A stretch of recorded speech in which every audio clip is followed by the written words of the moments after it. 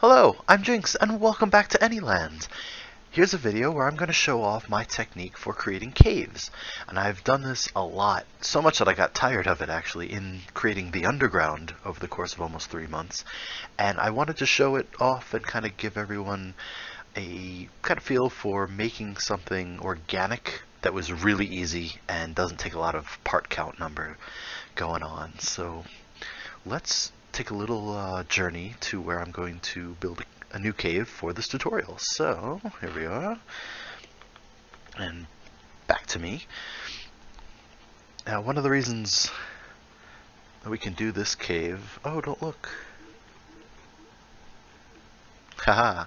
one of the reasons for making this video for these caves, these caves are easy. They really are one main part that we do over and over and over.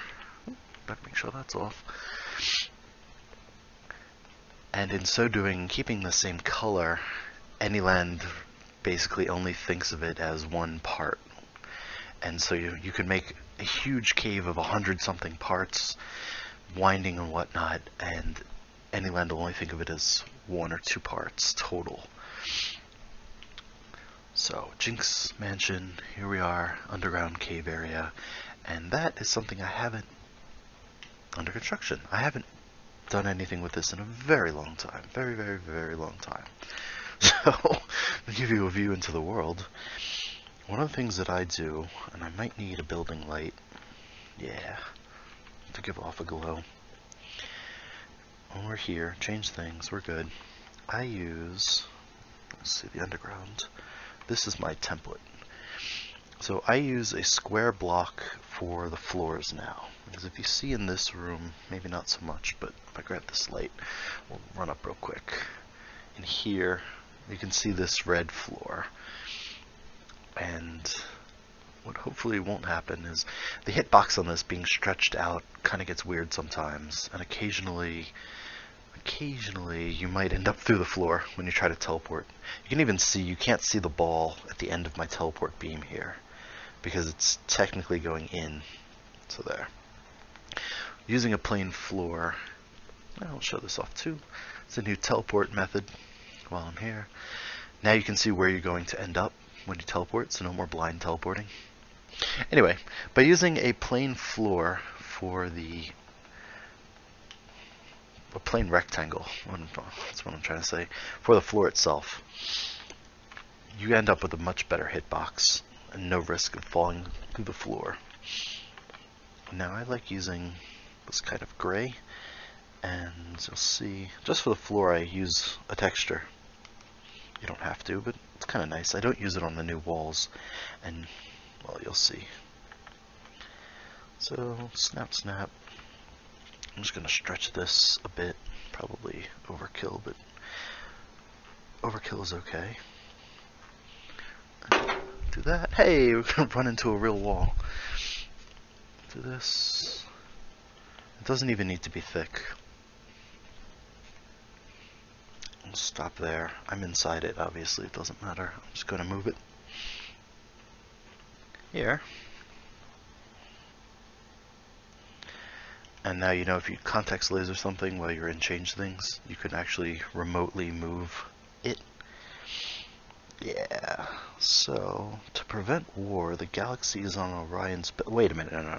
To prevent Z fighting, you actually want to sink something below its level. That might be a little too much, but if I come up here, it should be just good. No Z fighting, which is nice, but if you get things perfectly overlaid, you might very well likely to see Z fighting. Okay, so we have a little floor. This is one part, obviously, whatever the actual cave. I'm going to create a new thing, not attached to the floor. It's just a preference thing for rearranging easily. I use this shape. It's kind of gnarly sphere. And then I use that, I like the dark gray. I think it works well, any shade of gray. And then a couple things that are nice about this particular shape is on two sides you have it, it kind of gets into the pointy, but on the rest of it it's a lot smoother. So what I do stretch it out. Maybe you see where this is going already. Stretch it out like so. Go to rotation, pull it, and give it a little thickness. look at that. We have a cave wall. I'm going to line it up here. Mm-hmm, mm-hmm. Roughly, ish. Like so. And then copy it. Copy it. Pop it around. Pop it around. Look at what we have here. We're making a cave. Or some sort of organic stone rocky tunnel. Come around here. Don't want to clip off the edge. Come here. Can even make this a little tighter by giving it some angle. You step back and you see now it's a tunnel and it's meandering a little. There.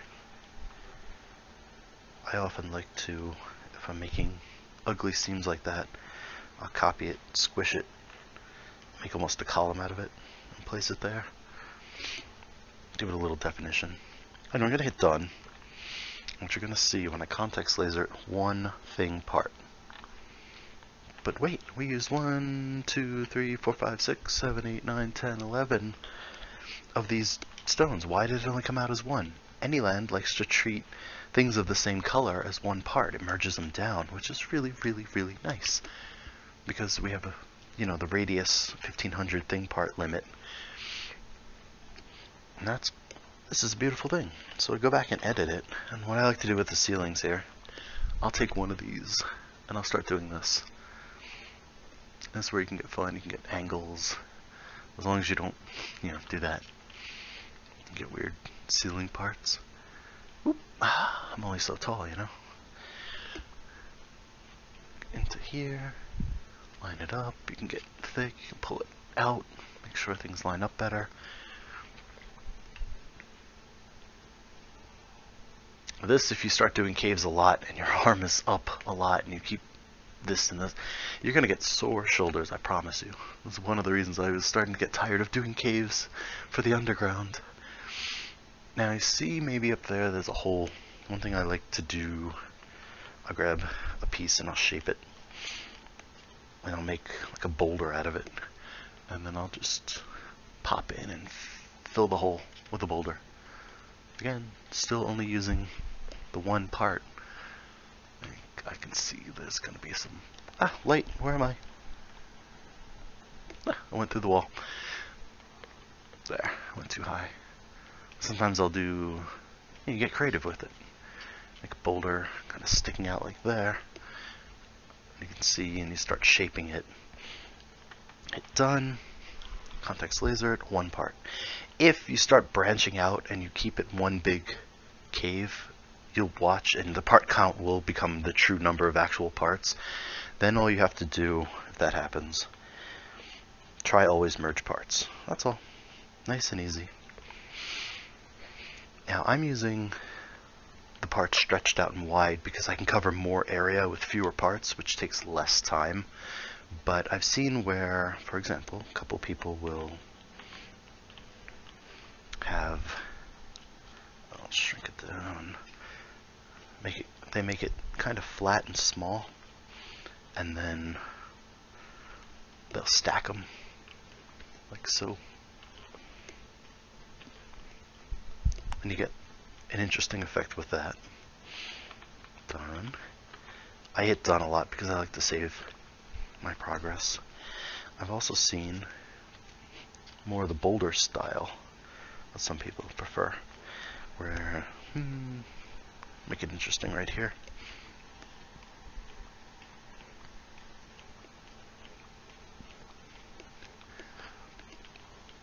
Hmm, too far. Can see it's ugly on the other side. I double tap that teleport. There. Right, start doing this. This starts to look pretty neat. Because you're using a lot of little parts. And it starts to look more detailed. Look at that, dude. It's almost like a rock slide came in here. Actually, this looks like it would be a nice spot for a little waterfall or lava fall. I'll keep that in mind in the future. And you see why I don't use the flat type, because it's too many edges. They blur right in. Context laser, one part. Remember I did merge all parts. So that's the real quick and dirty on caves the way I build them. One other thing, I think. You were to take this and, well, actually, just do it from here. If you instead stretch it with the idea of making the gnarly part, the pointy part, to be the face that you're going to see. Let's see with the light, you get a little more detail, a little bit different. Instead of being perfectly smooth, you're going to have a bit more rocky pointy. Kind of cap this off here. Hmm. Okay. Ooh. I like that, and keep that in mind actually, making it really tight and squeezy. You have to get through. So got that. It's supposed to be underground here in the cave network, so you shouldn't see sky up there. Right?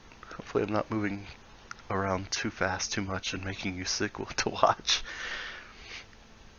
But it's, you know, been a couple months of making a lot of caves, so I'm pretty efficient at it done. Okay, now we have a little alcove. Not bad, needs detail. I'm going to break out that wall in the future when I get bored and do a bit of a cave network. I have some neat ideas that predate the underground that I wanted to do in here. And a couple of ideas that we actually did in the underground because we were working on it and I come back here. Other things, and I can do this in a small scale I think. Yeah, I'll put that. So say, say we're doing this, and then say this is much bigger like the floor is now, and I want to do an angle down. Here's the problem with using these pieces. You can see there's a break or ledge if I try to squeeze it in, but I still want it down. You're always going to get some sort of pass through unless you made it perfectly, and that'll drive you crazy trying to get that perfection.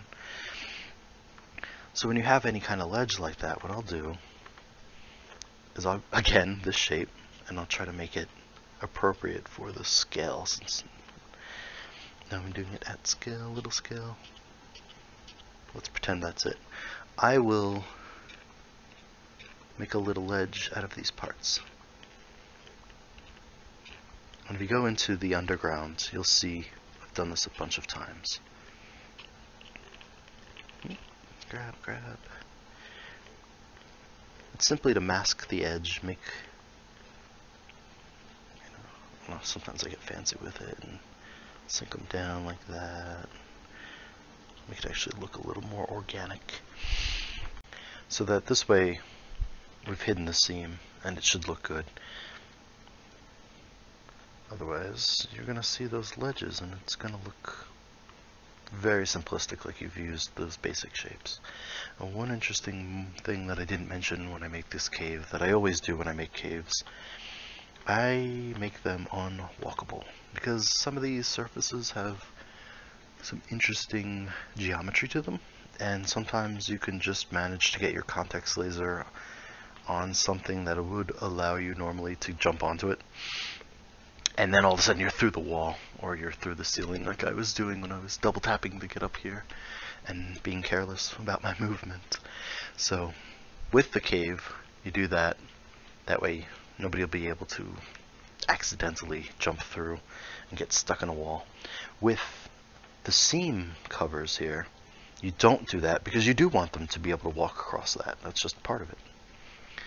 So here we are. Like I said, the basics of caves. It's interesting, especially if you go back and look in the underground. A couple of times I've not used this gray, and I've used like a more of a brown, orangey brown for dirt. Or near the end I used the kind of blue and it looks, it matches the crystals at the end better. But the reason, let me delete this first. Gray is good because it picks up the color of whatever else you might be holding. So look at this. I've got this yellowy orange torch, and now the gray has just a slight yellowy orange to it. Just that little tinge. And you look back. Same thing with the blue there. And if you go to the, and that one of course there. And if you go to the underground, we did a lot with different light colors. But if you don't pre-light, if you don't do anything else, this is a spooky looking cave. If I came across this, I don't think I'd venture into it not knowing, not being able to see past in the dark. If you came across, let's say we were up here and we were coming in from up there. And we come down, and, hmm, we've got this. There's something over there that's is a light, right? Mm, that might draw my attention. That looks just straight black. Like scary, no definition. And as I approach with a torch, I see, oh, oh, oh. I would not willingly go through there without a lot of light with me, for example. Spotlight. Right? Not bad for a cave, huh? See the, you'll notice the floor texture, not bad, not bad. The ceiling being more organic. People don't look down, I think, is why I do the flat floor, but then I do the more interesting ceiling. I think people have less of a tendency to look down at where they're going or look up to a really, really high ceiling. So that's kind of spooky. And if I turn off snapping for a second, I will pull out a candle and we can light this area up. Ooh, this is dark, huh? What color do we like? Green? I like green. Here we are. it's so dark I can barely see where I'm setting this out. And here's an example when I mentioned using laser eyes to clear emitted things. So now if we pop back, now we've got a green light just lighting up that one little spot which makes it look even more ominous if you're not holding a torch or something yourself like that. Come through here and maybe it's a little more inviting because there actually is light and it looks like maybe a human actually placed that. Anyway just an example of the caves different styles and what you can do with it. Just making it super simple. One part same color keeps the part count very low. And it's really, when you're making a cave like this, you're not adhering to any normalcy. Like if you're making a room in a house, eh, you probably want orthogonal walls, perpendicular to everything, and maybe some angles, and things have to look kind of realistic, believable. With a cave, you could just meander and go and split and come back around and turn around, and it just is almost like a stream of consciousness design, where you just keep going and going and going and do whatever you'd like. And yeah, my last tip, which made it a lot easier and a little bit less boring for me, is I put a bunch of floors down first and then build the walls up and then the ceiling.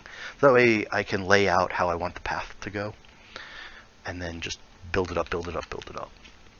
So yeah, I hope this was helpful at some, in some way. Maybe helpful for you. Are you looking at me? And um, yeah, so other than that, build some caves. Hopefully this inspires some other kind of architectural design kind of the freeform stuff. And yeah, have a great day.